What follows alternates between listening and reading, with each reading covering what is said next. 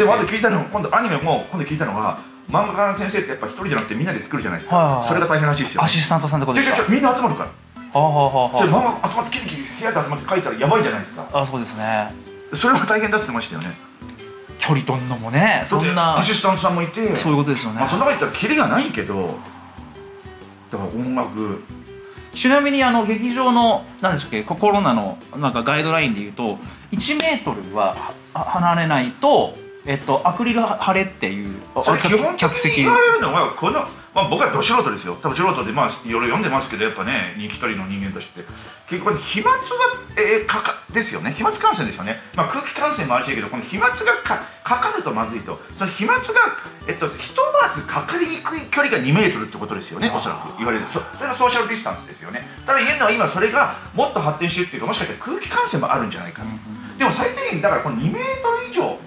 だからその1メートルのどうのこうのこれポーンって飛ぶのだ俺みたいにペロペロしてくれるやつがペンペンペンって唾飛ばすこれ危険かもしれないけどってことっすよね。そう。だからそういうライブっていうのはでもげ劇場ちゃんとなんかアクリル貼ってました？よ客席に。いやだって今度はそこでそういうのが起きた場合はいやそれいやだって例えばおっかないっすよ。例えばね、えー、格闘技のおか、まあ、申し訳ないけどおかしなやつって表現させてもらってしまうけど、うん、それがさねなんかいろんなこと言ってなんか俺は大丈夫で俺は死んでもいいとか言ったけど俺からしてもあなたが死ぬのは申し訳ないけど自由ですよね。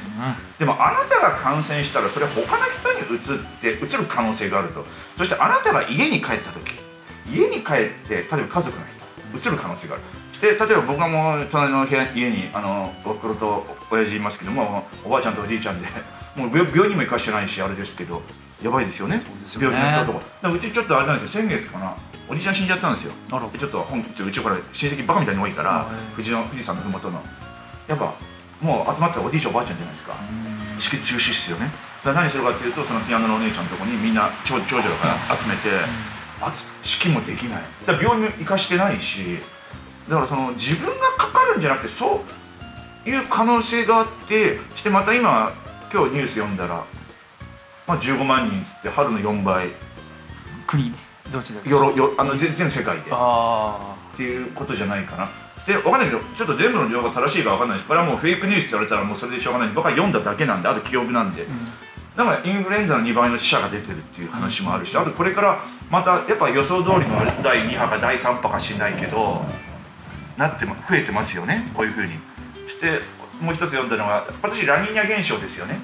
冬が寒くなる。ラニーニャの時はこの,、ま、あのインフレもウイルスの蔓蔓延はすごいらしいですよね。過去の歴史上見ても。それおそらく寒いと。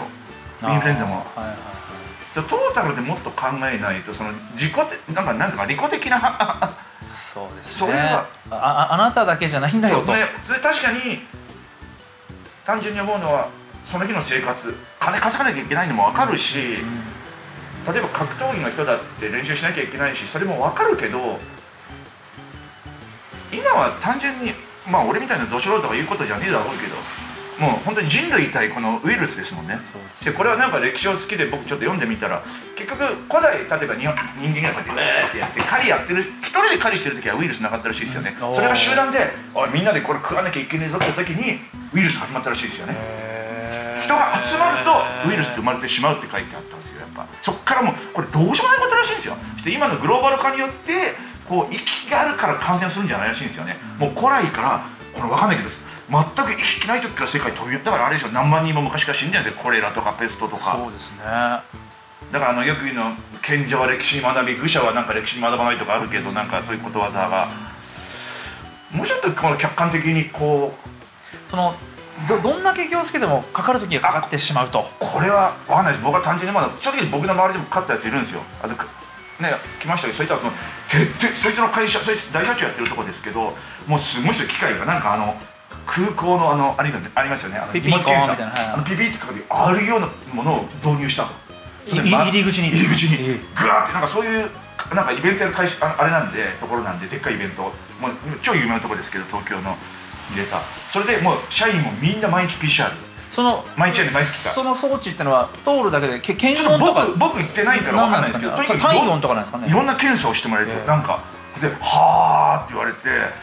でもそんで毎月 PCR まあ、徹底してますね。あ危ないんで。でそれで会った時もマスクしてましたけど、まあ六本木にあるんですけどなカブトムシ欲しいって言うから夏カブトムシの家持ってきましたけど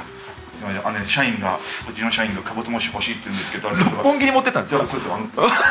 カブトムシ欲しいって言うから僕カブトムシハウス作ってあげたんですよ。してちゃんとうちのこのハウスとに、あの土と木とか、はい。で何匹一応これねあんまりカブトムシを置くとねあの幼虫いっぱい生まれるから2匹たら2匹にしようって。業者ですよね。ただねこれでもすごい綺麗で土とかあの朽木は全部うちの近所の森でこれ天然で最高の森だね。ですよと。いいカブトムシがあると俺でもその問題があると六本木さってこれ持ってってお巡りさんに使ったら何ですか？いやカブトムシですって言った。ら私店の前に持ってじゃ店の前で。疑われますよ変なじゃ掘ってカブトムシですよカブトムシ麻薬とか疑われますよ本当に結局他の社長かなんかも知り合いのやつもかかっちゃってまあどんだけ徹底して聞いたらやっぱそういう人の打ち合わせしてやっぱ知り合いなんか会社のうちの会社かかっちゃいましたってやつもいて、なんかそいついつもマスクしてしてるけどでもそれ結局まあ、あれですもんね、まあ、どんなふうにちゃんと来ちゃって交通事故にかかる時あるし風邪ひく時あるし、はい、このコロナってそのなんかもっとなんか確率が高いバージョンだと思うからもう対策してかかんのはこれしょうがないと思うんですよ。もうなんか僕いつも思うのは皆さん結局この関東じゃないですか、はい、なんか自分のことかかってるって気しません？もしかしたら。自覚症状がないだけでそうそうそうそう、はいはい、もしかしたらかかっちゃってるけどそうだからよくだからジャイアンツの坂本選手が美容整とか言って、えー、あと今いろんなタレントさんとか有名な人かかりますよね。症状ないのになんとかって、えー、みんな自覚ないみたいですもんね。だから俺はただなんで、えー、かかってないかっていうとただ検査してないからだろうと。気もするんですよ。なんかなんかそういった間のあれだけど一応対策したらでそれはしてしょうがないあとはね、ちゃんとした、ね、保健所なり医者の先生の言うことを聞いて、えー、それの、ね、ルールにのっとってやってやれば治るちゃんと治るものだし、それをちゃんとしないで自分たちが、ね、やりたいからただや、何も考えずに何も対策もせずにかかったんだったらそれはダメですよね。と思います。ね。だからだからぶっちゃけた話あの、まあ、この僕はなんかしないと格闘技ってとこにいるけど、まあ、そこでなんかクラスターかかったらしいんですよね。まあそれまあぶっちゃけ横浜の川山から来て朝日さん関東でクラスターが起きたらジムが起きたらしいですっつってマジって。してまあすぐ分かったんですよどこか、えー、まあまあ99.9%でしょうねでその他のこいつが何をしたかっていうのも全部回ってきたけどももうこんなの相手にしたくねえから。それをちゃんとはもう決定的な情報がもう。もう決定的な情報あります、えー、あります。いくつもあります。もう僕のこの携帯いっぱいありますよ。いろんな情報いっぱいありますよ。あのだからよくほら前怖いっていうか前言われたんですよ。なんか2010年僕のシュートの時も問題の時もあれに対していろんなバカがぐちゃぐちゃ言ってきたらしいんですよ。なんかあの人は口だけで何もしねえとかふんたらかんたらとかいろいろ言ってきたんですけどしてあまりにも頭きたからもうどうでもよかったけどちょっとあまりにもひどいやつがいたんで他の県でもちょっとそこのボスにちょっと僕メールしたんですよ。もうそのあ親あれですよ言葉がバカだったら親に言った方がいいですよね、うん、あとそういった連絡先知らねえから。で全部説明したんですよ。あのさこんなこと言ってるらしいけど俺2010年俺これちょっと俺が何をしようとしたか全部説明してやるよっつって全部ブーって長文送ってやったんですよでまずびっくりしたのが「まだ人こんな長文びっくりしました」ってこいつら超っていうか今って不思議なあれがあってなんかツイッターで文化があるせいかもしれないですけどやたら短い文で全てをなんかなんか簡潔に文が長いってよく言われませんそれ長さだけかと。俺それ違うと思うんですよ。あのね大事なことは短い文でそれ言えないんですよ